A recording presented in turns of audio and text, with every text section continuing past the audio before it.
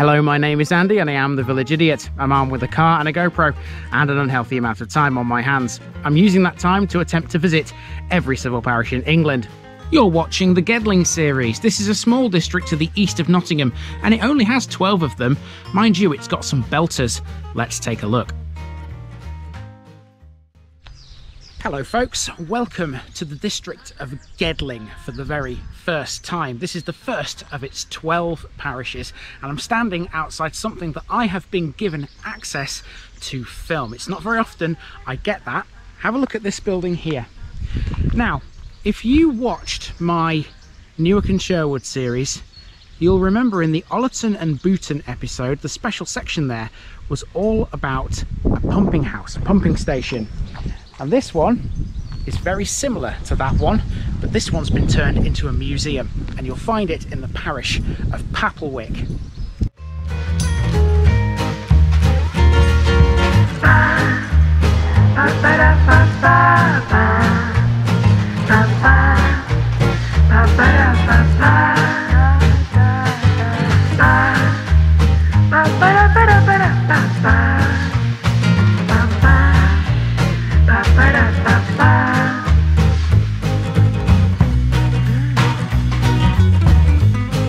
Here's my disclaimer for people who may be watching me for the first time. I say things as I would in my native accent and dialect. As a result, I may not pronounce things in the same way as the locals do. Remember, I'm a visitor. It's impossible to know everything. Leave me a comment, spin me a like, and bash that subscribe button. Let's get to today's parish video. Welcome to Gedling, everyone. We begin this small district of Nottinghamshire with Papplewick, and I reckon there was no better place to start. A small village, it lies seven and a half miles north of Nottingham and six miles south of Mansfield. In the Middle Ages, the village marked the southern gateway to Sherwood Forest. It's within a loosely defined area known as the Hidden Valleys, an area of interesting historical and scenic value between Nottingham and Mansfield. Once again, we're in a place with some Robin Hood themed legends, as Papplewick is said to be the burial place of Alan a Dale, another of the outlaw's merry men. Papplewick is a lovely place. Most of its historic core is a conservation area and it's full of fabulous 18th century cottages. Amenities wise, it has a village hall, an ancient church, and a pub called the Griffin's Head. Tourist attractions in the parish include Papplewick Hall and the pretty Papplewick Trail, which even has some waterfalls. However, we're beginning this episode at the parish's biggest and best landmark, in my opinion Papplewick Pumping Station, which I was lucky enough to be allowed access to to film. Built to pump clean water to a reservoir which would supply the city of Nottingham, it's one of those places that's a must if you visit. It's a wonderful part of the county, all ends up, so let's go and check it out.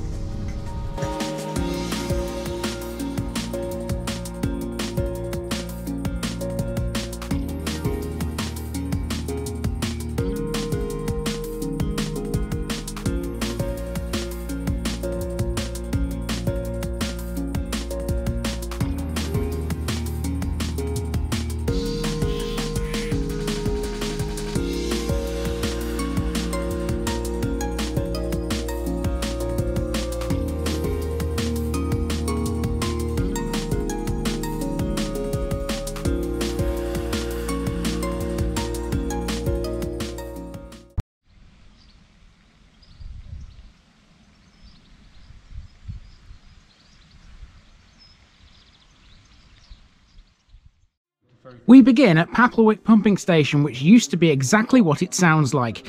Built by the Nottingham Corporation Water Department between 1881 and 1884, it pumped water from the sandstone aquifer below the ground to provide clean drinking water to the increasingly industrialising city of Nottingham. It's now a working museum, one of only a few pumping stations in the UK that's preserved in full working order. It was restored from 1975 onwards and was formally opened in 2005 by the Duke of Gloucester. Here we're inside the beautifully ornate engine house, which has stunning Victorian decorations. Mechanically, two beam engines built by James Watt and Company were supplied with steam from six Lancashire style boilers. The man you can see and hear in some of these shots is John Noble, the secretary of the Papplewick Association. He was kind enough to let me capture the entire site for this video.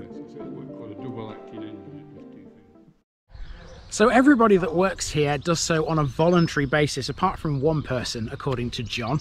Um, not quite sure who that person is, but he's the only one who gets paid. Everybody else does it for the love of this building and for everything it used to do. So we've seen the inside of it, so what's on the outside? Let's go and find out.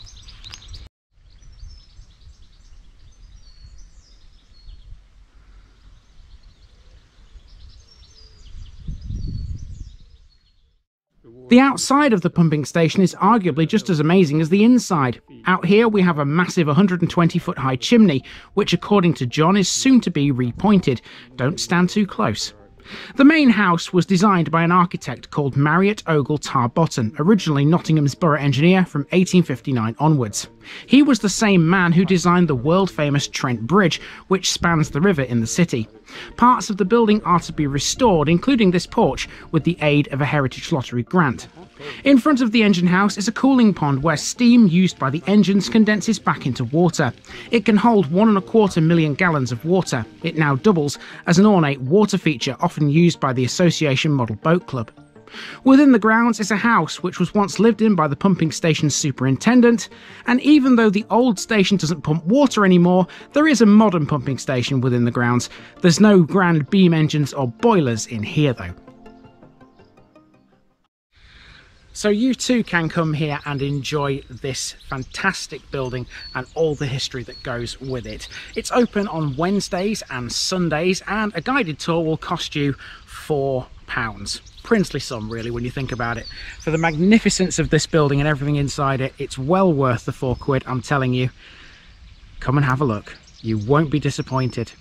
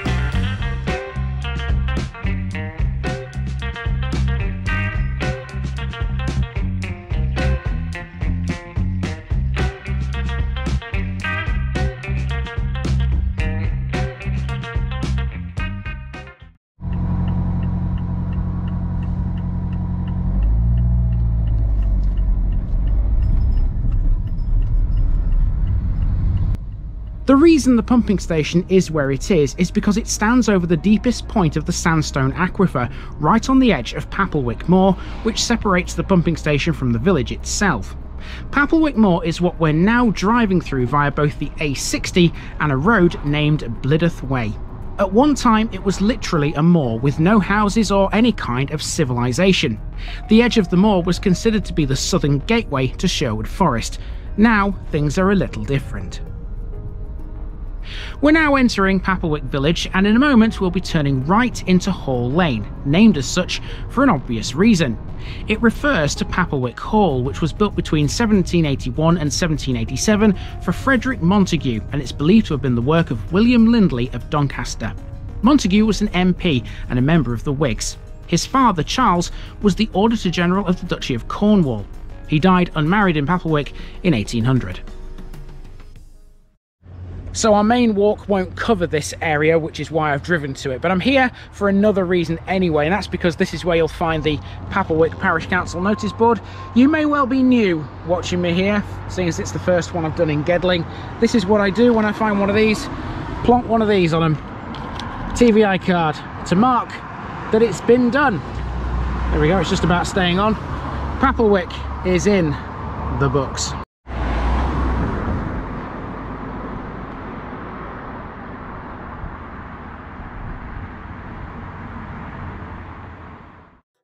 Our main walk begins right in the middle of the village on the B6011, which connects the A60 to the town of Hucknall over the border into Ashfield. Our finishing point later will be a bus shelter on the same road. Let's walk up Main Street, and it's one of the most beautiful residential roads you'll find anywhere in Nottinghamshire. It sits within Papplewick's conservation area, the boundaries of which encompass the village's historic core. The conservation area was first designated in 1973. The people are nice too. I read countless articles before coming here, which all mentioned a strong sense of community and how everyone looks out for each other. Papplewick doesn't have a lot of amenities, but you can at least get a bus here. The service you need is the 141, which links Nottingham to Sutton in Ashfield. You can also get a cuppa as well. This is Morton's Farm Tea Rooms, whose customer base includes a fair amount of ramblers who come to the village to enjoy its many walks. Okay, so the hat and the glasses have gone on now because the sun is starting to peek through the clouds, which is a good thing. Now, when you reach Papplewick Lodge, you are then on a footpath, and this path runs to Linby, and it also takes you towards the Church of St James. Let's go down there.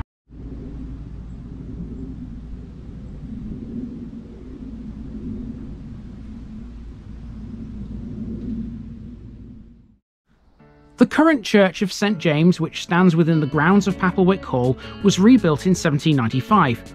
However, there's been a church on this site since at least the 12th century. As Papplewick was the headquarters of the royal foresters who tended to the upkeep of the king's forests, almost by default St James's Church was their burial place. Here you'll come across several medieval grave slabs which show bows, arrows and hunting horns for that very reason. Foresters cut their bows from the surrounding yew trees, and according to legend, Robin Hood did the same. Speaking of him, according to some versions of his legend, it was in this very churchyard where Robin Hood is believed to have first met a distressed man named Alan a Dale, who he would go on to help regain his sweetheart Ellen from an arranged marriage to an old nobleman. Leaving the church behind, we're now heading for one of the village's surrounding areas of woodland, accessible via a network of public footpaths. Okay, so now we're into a wooded area. What we're doing effectively here is following the Papplewick Trail, which runs alongside a lot of water and even across it at one point as well. This will take us out of the parish boundaries, but it will take us back to Linby Lane, so we can find our way back into them fairly easily. Uh, hopefully I don't get lost in here.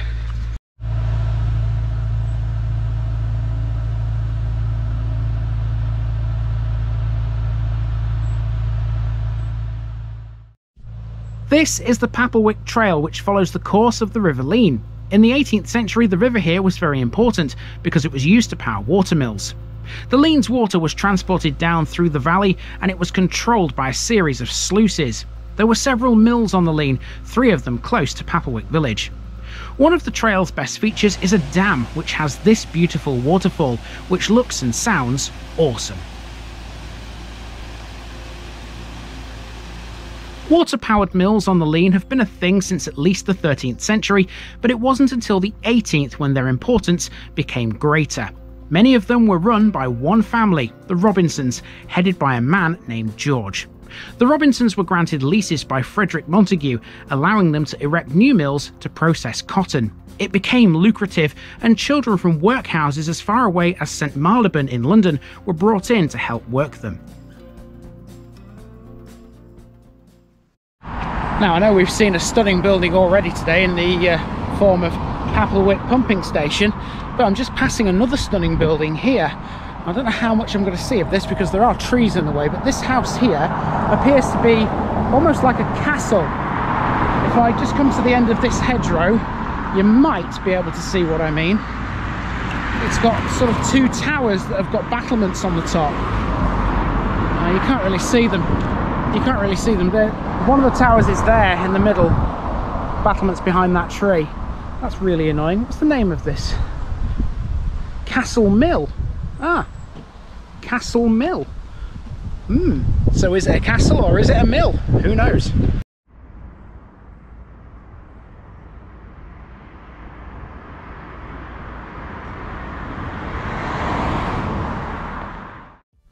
We'll be back to the Papplewick Trail shortly. To get there, we're passing through Papplewick Village Hall, which has a playing field and a playground to the rear. This is where we find the local war memorial which honours the three men who were lost in World War I. St James's Church also has two memorial tablets, one for each of the World Wars. Now we're back on the Papplewick Trail, accessible from the playing field. This part of the trail is known as Moor Pond Wood. There was once a reservoir in here called Moor Pond, the remains of which can be seen here from this bridge. It was drained and the area was forested sometime before 1881. The path through the wood leads to Moor Road and to the Griffin's Head pub. Believed to be over 300 years old, the pub is a listed building and it's included within Papplewick's conservation area. Lastly, the big building on the corner opposite, once a late 18th century farmhouse, which has now been split into two houses, known as Number 1 and the Barn. So I'm back at the bus shelter where we began. That has been the parish of Papplewick, and if the rest of Gedling is like this, boy are you in for a treat.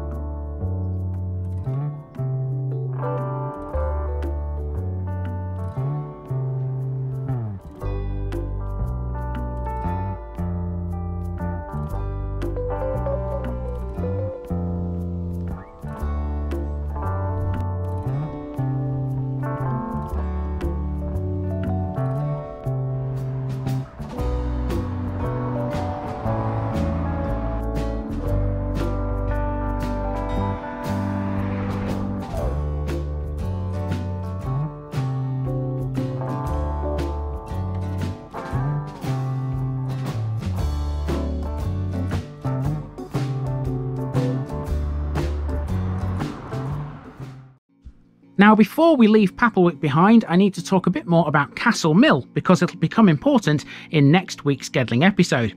Even though we passed it on the walking route, Castle Mill actually belongs to Linby, the next parish over to the west. It was originally known as Robinson's Mill and was only later known as Castle Mill due to its pseudo battlements. It has never been a castle, but it most definitely was a watermill. It was built in around 1780 and was owned and run by the Robinsons, hence the name. It was built as a cotton mill originally, but would eventually be used to grind corn instead in 1851.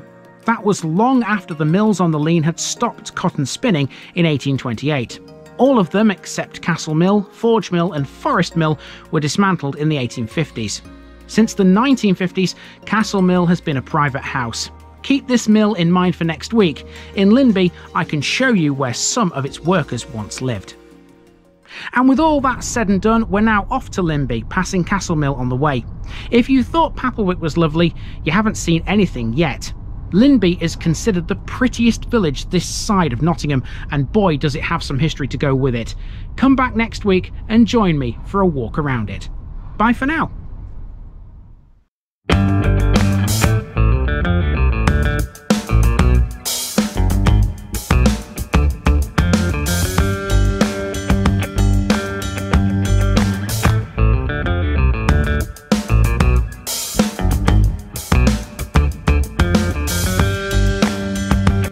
Thanks for watching this video, folks.